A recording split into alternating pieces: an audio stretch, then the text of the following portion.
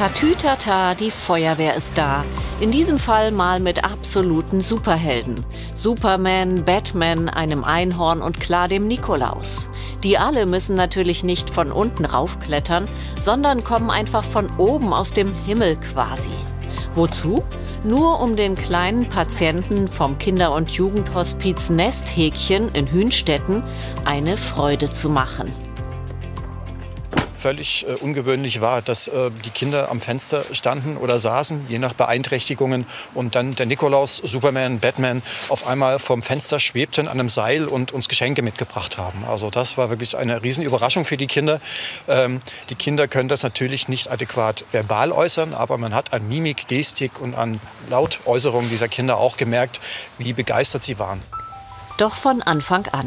Höhenretter der Freiwilligen und Berufsfeuerwehren haben die bundesweite Aktion selber initiiert. Sie wollten kleinen, schwerstkranken Patienten eine Überraschung bereiten. Die Kinder durften auch die Vorbereitungen mit ansehen. Ein tolles Erlebnis. Das war im Vorfeld schon sehr aufregend, als die ganzen Aufbauten stattfanden für den Nikolaus, der sich irgendwann abseilt. Ja, also die Feuerwehr hat draußen eine große Hebebühne gehabt, es wurde geseilt, viele Leute waren da und das fanden die Kinder ganz toll. Und dann geht es los.